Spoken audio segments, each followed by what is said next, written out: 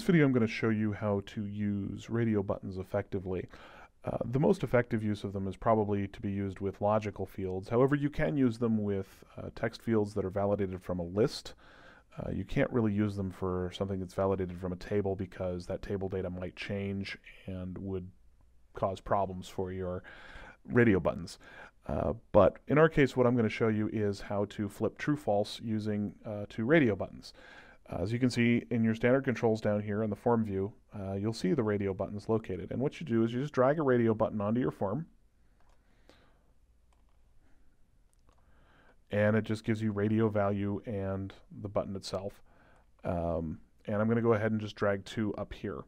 Uh, I'm using a random field uh, that's already included with incident uh, in version 4.3 and uh, what I will do is I will change these radio values to yes and no.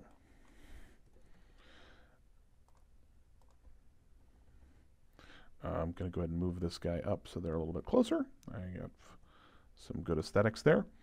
And what I'm also going to do is I'm going to put a label over top of these to denote the uh, field that I'm working with. And I'll just, because I'm kind of lazy, drag the actual, actually no I won't. Um, I will drag a label onto the screen and in that label I'm going to just put the title of the field that I'm going to be determining using the radio buttons. Now again, this is just fairly random, so you can use this with any uh, field that is either from a validated list or is a logical field. Now what I need to do is decide that these radio buttons actually uh, relate back to that CI critical logical field. Uh, so the way I do that is just to right click on one of the controls and click on control properties. And as you can see, it asks you to associate the field. In this case, I want it CI critical. And then because it's a logical field, it just gives me true false here. If it was a text field, it would ask me to type text in. In this case, since I say yes, I want it to be true. And I have to do it for the other radio button as well.